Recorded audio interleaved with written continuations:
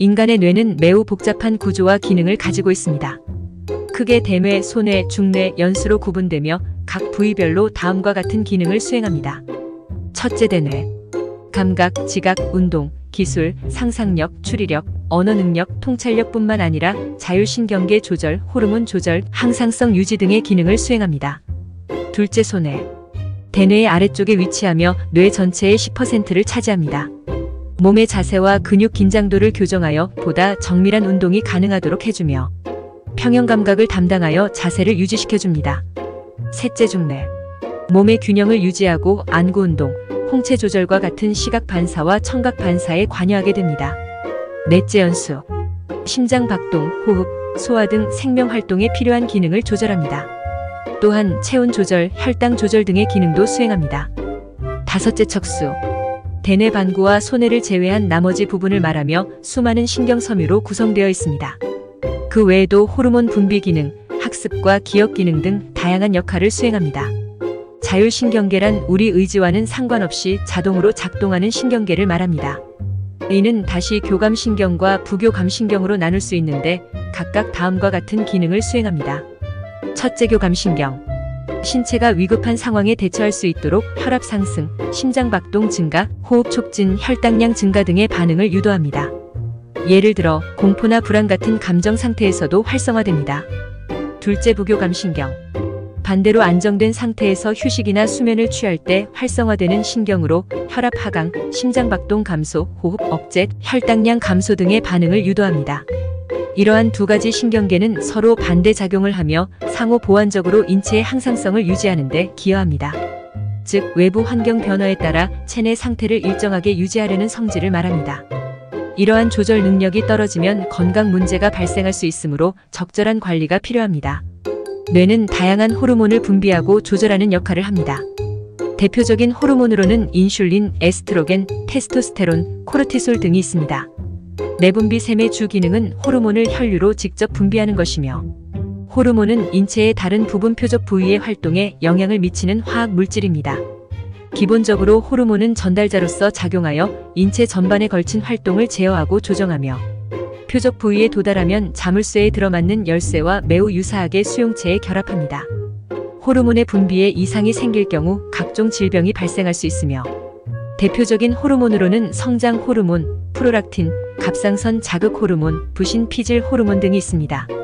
갑상선 자극 호르몬 thyroid stimulating hormone, TSH은 뇌하수체 전엽에서 분비되는 호르몬으로 갑상선에 작용하여 갑상선 호르몬의 합성과 분비를 유도하는 호르몬입니다.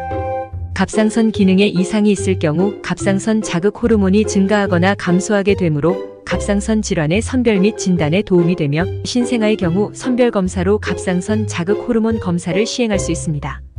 뇌 건강에 좋은 음식에는 오메가-3 지방산, 비타민 D, 비타민 E, 비타민 B6, 마그네슘, 철분, 칼슘, 엽산 등이 포함됩니다.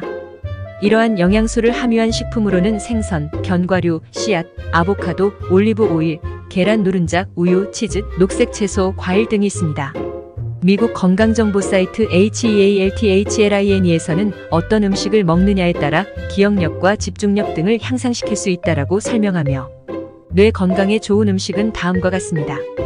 첫째 지방이 많은 생선.